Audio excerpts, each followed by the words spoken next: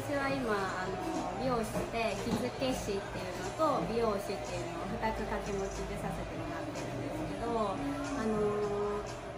着付けをやっぱり今本格的にやってることであの美容学校で着付けを教えてくれるところってあんまりないんですよなんであの本当留袖と浴衣両方私の学校時代はやらせてもらえたんですけどもうそのあのがあのすごく今役立ってるなと思っててでコンテストとかでもそれで優勝させてもらったりとかその着付けの授業っていうのはやっぱり楽しかったし今仕事にもすごく役立てられてていいなって思ってます。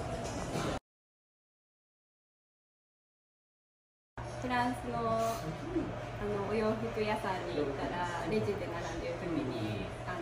ここにポシェットを置いてあったにもかかわらず、えっと、お財布を盗まれてしまって パリからクレジット会社に 止めてくださいっていう電話だったりとか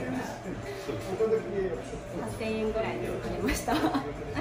ていうのと日本でいう、うんと深夜1時が向こうでいう朝の7時で朝食にオレンジジュースとココアとクロワッサンとフランスパンとヨーグルト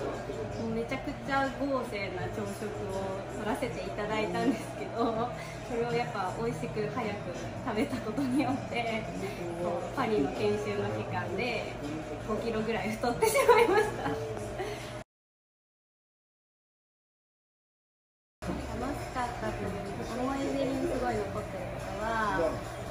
オープンキャンパスが、ま、1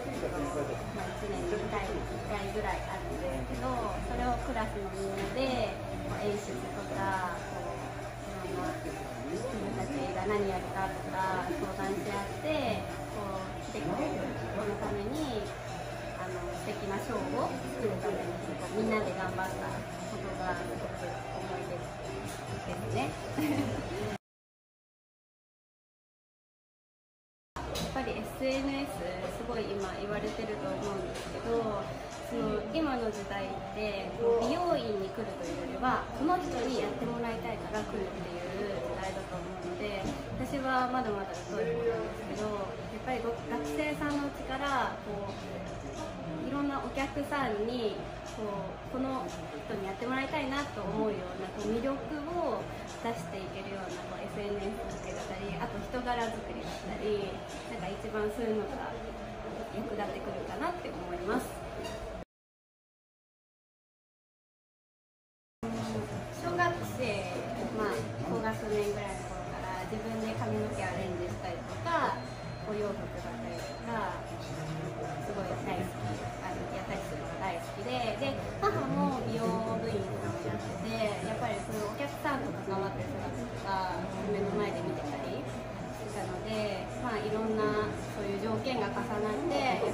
美容師やりたいなって私は思ってて、まあ、今その好きなことを仕事にできてるのもそうだしこうやっぱお客さんが笑顔になって帰ってもらえるっていうなんかすごい素敵なことしてるなって自分で思ってよ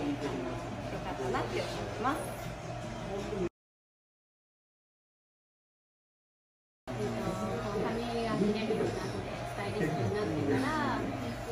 えっと髪が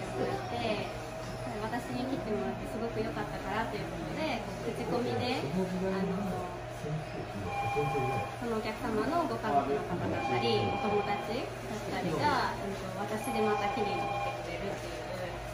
そういうネットとかじゃなくて言葉でこうつながって、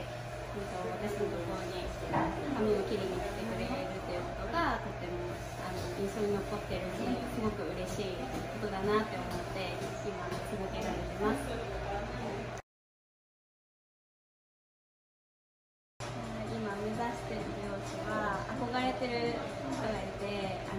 のアルバムの夏美さんとても素晴らしい方なんですけど、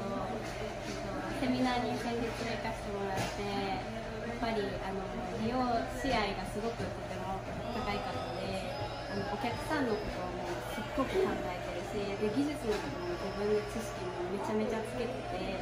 そのそれがこうより合わさってやっぱり売り上げもものすごく高い美容人望というかこの人に切ってもらいたいなっていう気持ちがすごく伝わってくる方だったのでそういうファンをたくさん作りたいなと思っています。